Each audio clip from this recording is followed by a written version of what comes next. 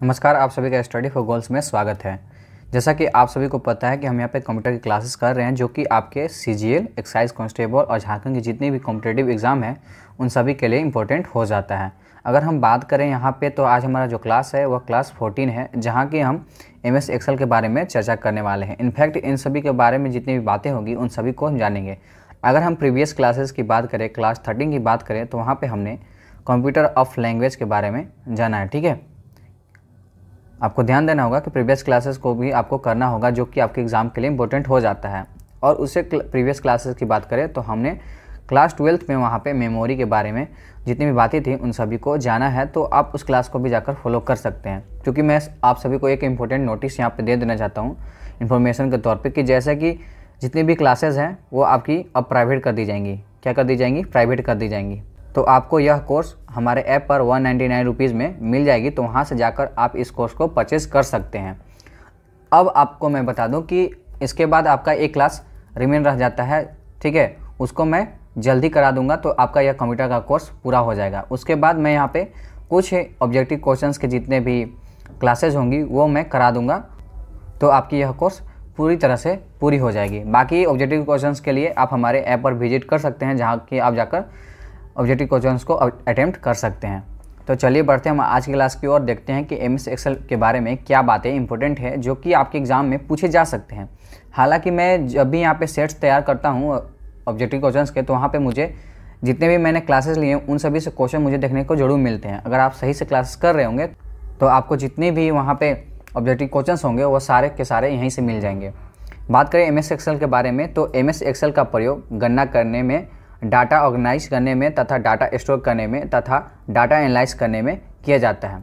देखिए, जो यहाँ पे एम एस एक्सेल है, उसका प्रयोग किन किन चीज़ों के लिए किया जाता है? तो पहले गणना करने के लिए, डाटा ऑर्गेनाइज करने के लिए, ठीक है, डाटा स्टोर करने के लिए, साथ ही डाटा एनालाइज करने के लिए। इन सभी चार बातों के लिए यहाँ पे एम एस एक्सेल का प्रयोग किया जाता है। मैथमेटिकल कैलकुलेशन के लिए, जहाँ पे सारी चीज़ों को एक सीरीज़ वाइज में यहाँ पे डिस्कस किया जाता है।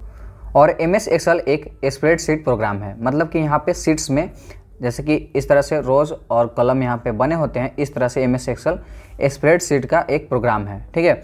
इसमें निर्मित फ़ाइल का एक्सटेंशन जो एक्सटेंशन होगा, जो इसमें फाइल्स बनेंगे, वह किस तरह से जाएँगे तो dot X L S X के फॉर्म में जाएँगे। जब भी यहाँ पे जो एक्सटेंशन फ़ाइल बनेंगे, वह यहाँ पे इस तरह से चले जाएँगे। तो आपको ध्यान रखना होगा कि एक्सटेंशन फ़ाइल किस तरह से जाएगा? तो आपसे पूछ सकता है कि एक्सटेंशन फ़ाइल का जो विस्तार होता है, वह किस तरह से होता है एम एस एक्सेल में, ठीक है?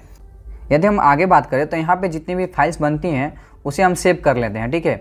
अगर सेव नहीं करते हैं, सेव तो हम कर लेते हैं, जिस तरह का फ़ाइल होता है उस नाम से वहाँ पे सेव कर लेते हैं। यदि इसमें बनी फ़ाइल को हम सेव नहीं करते हैं, अगर मान लीजिए हम सेव नहीं किए, फ़ाइल बन गया तो बाय डिफ़ॉल्ट एक्सेल में जितनी भी फाइल्स होती हैं, वह बुक वन या वर्क बुक के नाम में शो करेगा, ठीक है? अगर हम उसे सेव नहीं करते हैं तो एक्सेल में जितनी फाइल्स होंगी, वो बाय डिफ़ॉल्ट बुक वन या वर्क बुक में नाम से शो करेगा, ठीक है? वर्क बुक क्या होता है? अब यहाँ पे हम वर्क बुक के बारे में सबसे पहले जान लेते हैं। तो एम एस एक्सेल में प्रत्येक वर्क बुक में बाय डिफ़ॉल्ट तीन वर्कशीट होते हैं जिससे जितने भी ये पे यहाँ पे बने रहते हैं इस तरह से रॉ कलर्स में तो उसमें तीन वर्कशीट होते हैं, तथा अधिकतम संख्या दो सौ छप्पन होती है। आपको यहाँ पर ध्यान देना होगा कि यहाँ पर मिनिमम पूछ सकता है तो तीन और मैक्सिमम पूछेगा तो यहाँ पे दो सौ छप्पन। तो आपसे एग्ज़ाम में क्वेश्चन पूछेगा कि एम एस एक्सल में अधिकतम वर्कसेट की संख्या कितनी होती है तो दो सौ छप्पन हो जाएगा। और अगर न्यूनतम पूछेगा मतलब कि मिनिमम पूछेगा तो वहाँ पे तीन हो जाएँगी। इसमें रोज और कॉलम जहाँ मिलते हैं, उसे सेल कहा जाता है। मान लीजिए, इस तरह से रो और कॉलम आकर यहाँ मिल रहे हैं तो इसे क्या कहेंगे? सेल कहेंगे। तथा वर्कशीट की सबसे छोटी इकाई सेल होती है। तो आपको ध्यान देना होगा कि जहाँ पे ये रो और कॉलम आकर मिलेंगे, उसे सेल कहते हैं, ठीक है? तथा वर्कशीट में सबसे छोटी इकाई को क्या कहते हैं? सेल कहते हैं। ये दोनों बातें भी आपको ध्यान में रखनी होगी। वर्कशीट की संख्या आवश्यकता के अनुसार घटाया या बढ़ाया जा सकता है, तथा ये रो और कॉलम में डिवाइड होते हैं। तो ये नॉर्मल सी बात है जो आप जान सकते हैं। यहाँ पे तो मैक्सिमम मिनिमम जो आपको बाई डिफ़ॉल्ट दिया जाएगा, लेकिन आप इसे घटा और बढ़ा सकते हैं अपनी ज़रूरत के हिसाब से, ठीक है? तो ये बातें आपको ध्यान में रखनी होंगी। क्या चीज़ें? तो पहले इसमें जो मिनिमम जितने भी वर्कशीट होंगी, वो तीन होंगी और अधिकतम दो सौ छप्पन हो जाएँगी। और जहाँ पे रोज और कलम आकर मिलेंगे उसे सेल कहते हैं। और सबसे छोटी इकाई को क्या बोलते हैं? उसे भी सेल कहा जाता है। ठीक है? अगर हम आगे इसमें बात करें तो बेसिक बिल्डिंग ब्लॉक जिसे सेल कहा जाता है। सेल को क्या कहा जाता है? बेसिक बिल्डिंग ब्लॉक तो ये भी आपको ध्यान में रखनी होगी। बेसिक बिल्डिंग ब्लॉक सेल को कहा जाता है। सेल क्या होती है? तो जहाँ पे आकर रोज कलम मिलती है, उसे सेल कहा जाता है। सबसे छोटे इकाई सेल होता है और उसे एक कौन नाम से जाना जाता है, बेसिक बिल्डिंग ब्लॉक के नाम से। टोटल कॉलम की बात करें तो यहाँ पे सोलह हो जाएँगी। साथ ही साथ यहाँ पे टोटल रो की बात करें तो यहाँ पे दस लाख अड़तालीस हज़ार पाँच सौ छिहत्तर यहाँ पे रो हो जाएँगे, ठीक है? तो ये सारी बातें आपको ध्यान में रखनी होगी। अब चलिए बात करते हैं सेल एड्रेस के बारे में। जैसे कि अगर मान लीजिए आपको फाइंड करना है कि मैंने डाटा जो लिखा है, वह कहाँ पे है? तो उस सेल एड्रेस को फाइंड करने के लिए क्या चीज़ें आपको ज़रूरत होगी? तो सेल एड्रेस को फाइंड करने के लिए आपको इस तरह से डी एस मान लीजिए, यह ए बी सी डी इस तरह से होता है, ठीक है? यह बढ़ते चला जाता है और इधर नंबरिंग रहता है one two three four five इस तरह से। तो आप जिस भी नंबर का मतलब यहाँ पे सेल जो खोजना चाहते हैं तो वहाँ पे आपको टाइप करना होगा। मान लीजिए आपने डी फाइव टाइप किया तो डी तो आपका, ये आपका इधर से सीधे सीधे आ जाएगा, ठीक है? और फाइव यहाँ से इधर से आ जाएगा, ठीक है? ये दोनों आकर जहाँ मैच करेंगे, वही सेल आपको वहाँ पे फाइंड करके बता देगा कि डी फाइव यहाँ पे यह सेल है प्रेजेंट है। जहाँ पे आप जो चीज़ ढूंढना चाहते हैं वो आपको मिल जाएगा। तो यहाँ पे जो डी हो जाएगा वो आपका कॉलम हो जाएगा। मतलब कि यह सीधा वाला कॉलम हो जाएगा और जो फाइव हो जाएगा वो आपका रो हो जाएगा। तो आप इस तरह से चीज़ों को फाइंड कर सकते हैं। मान लीजिए आपने जेड फोर्टीन लिखा तो आपका जो जेड रहेगा कॉलम वह आपका दिखा देगा, ठीक है? और जो यहाँ पे फोर्टीन रहेगा, ठीक है? आपको ध्यान देना होगा कि जो यहाँ पे फोर्टीन रहेगा, वो आपका रो दिखा देगा। ये दोनों जहाँ पे मैच होंगे, वो आपका सेल बता देगा कि यहाँ पे वो चीज़ें हैं जो आप फाइंड करना चाहते हैं। तो इस तरह से आप सेल एड्रेस को फाइंड कर सकते हैं। यह बहुत ही आसान तरीका है। चलिए, इसमें भी आगे कुछ और भी चीज़ें हैं, जैसे कि एम एक्स एक्सल का फ़ाइल नेम इकतीस कैरेक्टर का होता है। कितना कैरेक्टर का? इकतीस कैरेक्टर का। आपको ध्यान रखना होगा मैक्सिमम है यह। ठीक है? मिनिमम में तो आप कुछ भी रख सकते हैं ए भी रख सकते हैं। ए बी रख सकते हैं इस तरह से रख सकते हैं। लेकिन जो मैक्सिमम बनेगा जो आप जितना ज़्यादा नाम रख सकते हैं वह थर्टी वन कैरेक्टर्स का होगा ठीक है? आपको यहाँ पे ध्यान देना होगा। चलिए इसके वर्जन के बारे में बात कर लेते हैं तो इसका वर्जन 2003, 2007, 2010, 2013 और 2016 और 2019 इन सभी में लॉन्च किया गया है। तो आपको यह ध्यान नहीं रखना है बस आपको फ़र्स्ट नंबर का याद रखना होगा कि जो एम एस एक्सल का पहला जो वर्जन लॉन्च किया गया वह कब लॉन्च किया गया? तो 2003 में इसे लॉन्च किया गया। चलिए इसमें और भी चीज़ें बात कर लेते हैं। जैसे टैब देखिएगा तो टैब पे वहाँ किस तरह से दिखेगा? तो अगर आपको वहाँ पे जो लेआउट ओपन होगा वहाँ पे रिबन दिखेगा रिबन के बगल में, ठीक है राइट साइड में होम लेआउट और टैब दिखेगा। और रिबन के जस्ट नीचे पे नेम बॉक्स दिखेगा और नेम बॉक्स के जस्ट राइट में फॉर्मूला बार दिखेगा। तो ये आपको ध्यान में रखना होगा, वहाँ पे पूछेगा। जैसा कि एम एस एक्सल में रिबन होता है, जिसमें होम लेआउट आदि होते हैं, ठीक है? तथा रिबन के नीचे नेम बॉक्स होता है तथा फॉर्मूला बार नेम बॉक्स के राइट साइड में होता है। जैसा कि मैंने आप सभी को यहाँ पे बताया। जब भी आप, अगर आपके पास कंप्यूटर होगा तो आप इन चीज़ों को ट्राई किया कीजिए। जब भी मैं बताता हूँ तो इन चीज़ों को ट्राई किया कीजिए। एम एस एक्सल को अपने कंप्यूटर में ऑन किया कीजिए और इन चीज़ों को देखा कीजिए कि क्या ये चीज़ें आपके वहाँ पर वर्क कर रही हैं। क्योंकि प्रैक्टिकल जब आप करते हैं तो आपके क्वेश्चंस बनना आसान हो जाते हैं। आपको चीज़ें याद हो जाती है, ठीक है? तो आप बातें ध्यान में रखिएगा। साथ ही साथ वर्कशीट को जूम करने की क्षमता 10 परसेंट से लेकर 400 परसेंट तक अधिकतम होती है। साथ ही साथ एम एस एक्सल में एम एस एक्सल में ऑपरेटर जो होता है, वह चार तरह के होते हैं। ठीक है? अर्थमेटिकल लॉजिकल टेक्स्ट ऑपरेटर और यहाँ पे रेफरेंस ऑपरेटर हो जाएगा। तो यह चार तरह के यहाँ पे ऑपरेटर होते हैं, जो कि चीज़ों को काम करते हैं। अब एम एस एक्सल के जितने भी शॉर्टकट कीज़ हैं, उन सभी को हम जान लेते हैं एक एक करके। यहाँ पे एफ़ का मतलब फ़ंक्शन की हो जाएगा, ठीक है? फ़ंक्शन की जो कि आपके कंप्यूटर में एक से लेकर बारह तक टोटल दिए होते हैं। लेकिन यहाँ पे जो एक्सेल में वर्क करेंगे, वही चीज़ों के बारे में हम जानेंगे। बाकी चीज़ें तो हमने ऑलरेडी एम एस वर्ड में जान चुके हैं। चलिए बढ़ते हैं, देखते हैं। एफ़ वन का मतलब हो जाएगा हेल्प हो जाएगा। एफ़ टू का मतलब एडिट या सेलेक्ट सेल हो जाएगा। ठीक है? जो सेल रहेगा, उस उनको सेलेक्ट करने के लिए, ठीक है? उनको सेलेक्ट करने के लिए यहाँ पे टू का प्रयोग किया जाएगा। एफ़ थ्री की बात करें तो फ़ाइल नेम पेस्ट करने के लिए, जो फ़ाइल नेम होगा, उन सभी को पेस्ट करने के लिए यहाँ पे एफ़ थ्री का प्रयोग किया जाएगा। साथ ही साथ यहाँ पे आगे है हमारा ए फाइव तो ए फाइव के बारे में जो बातें हैं, जैसे कि गो टू स्पेसिफिक सेल मतलब कि जो इम्पोर्टेंट सेल है वहाँ पे जाने के लिए। एफ़ सेवन का प्रयोग यहाँ पे स्पेलिंग चेक करने के लिए किया जाता है, ठीक है?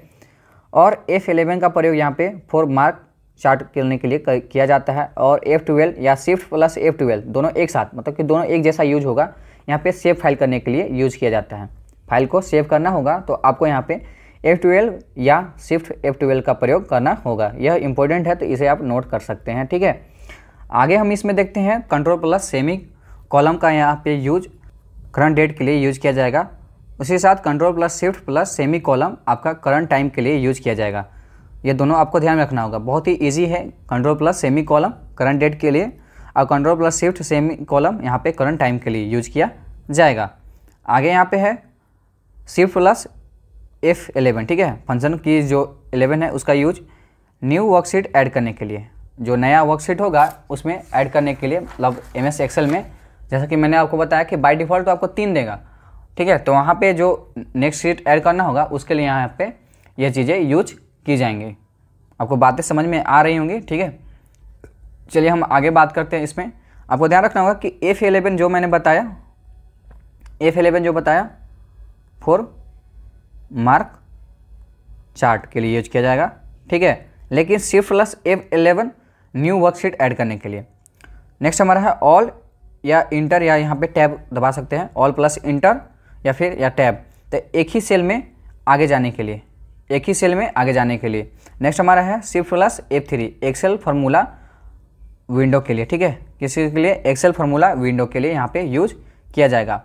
नेक्स्ट हमारा है कंट्रोल प्लस वन क्या है? कंट्रोल प्लस वन यहाँ पे जो यूज़ किया जाएगा, वह change the format of sorry change the format of selected cell ठीक है? जो सेल सेलेक्टेड होगा, उसका फॉर्मेट चेंज करने के लिए कंट्रोल प्लस वन का यूज़ किया जाएगा। कंट्रोल प्लस फाइव का use strike through the highlighted section ठीक है? नेक्स्ट हमारा है कंट्रोल प्लस एफ़ नाइन उसका यूज़ यहाँ पे ध्यान देना होगा कि उसका use minimize the current window जो विंडो खुला रहेगा वहाँ पे, उस चीज़ को मिनिमाइज करने के लिए यहाँ पे यूज़ किया जाएगा। कंट्रोल प्लस एफ़ टेन तो यहाँ पे इसका use maximize the current window जो विंडो यहाँ पे चला जाएगा, नीचे यहाँ पे आ जाता है तो उसको मैक्सिमाइज करने के लिए, बाहर निकालने के लिए, ठीक है? तो उस तरह यूज़ किया जाएगा। यहाँ पे सॉरी फ्रेंड्स यहाँ पे कुछ गलत निकाल गए हैं। अगर पीडीएफ जो मिलेगी, वहाँ पे आपको सही में मिल जाएगी, ठीक है? आपको ध्यान देना होगा, जो पीडीएफ आपको जब मिलेगी वहाँ पे तो चीज़ों को वहाँ पे सही करके आपको प्रोवाइड कर दिया जाएगा।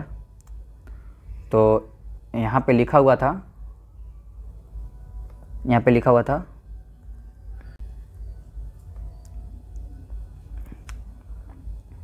कंट्रोल प्लस एफ़ सिक्स ठीक है? यहाँ पे लिखा हुआ है कंट्रोल प्लस एफ़ सिक्स जिसका यूज़ यहाँ पे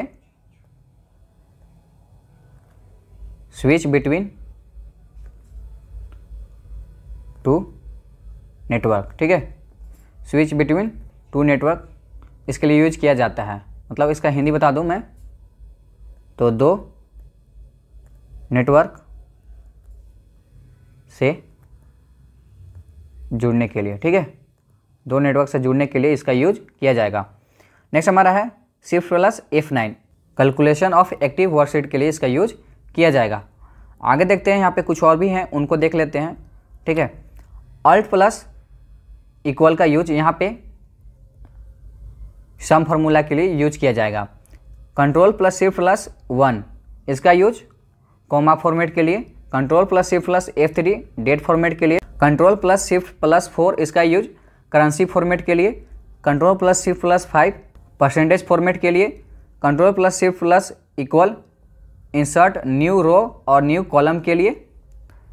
नेक्स्ट हमारा है।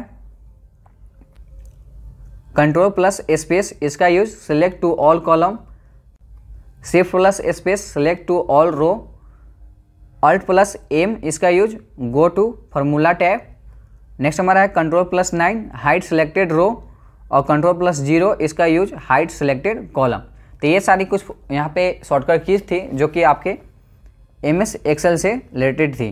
तो वो आपको देख लेना है। बाकी चीज़ें आपको ऑब्जेक्टिव के क्वेश्चन के तौर पर आपको हमारे कोर्स में ऐड कर दिया गया है। तो वहाँ पे जाकर आप चीज़ों को अटैम्प्ट कर सकते हैं। तो ये आपकी क्लासेस थी जो कि आपकी एम एस एक्सेल से रिलेटेड थी। बाकी जो क्लासेस बच जाएँगी, आपकी मात्र अब एक क्लास बच रही है। तो आपको मैं जल्दी करा दूँगा।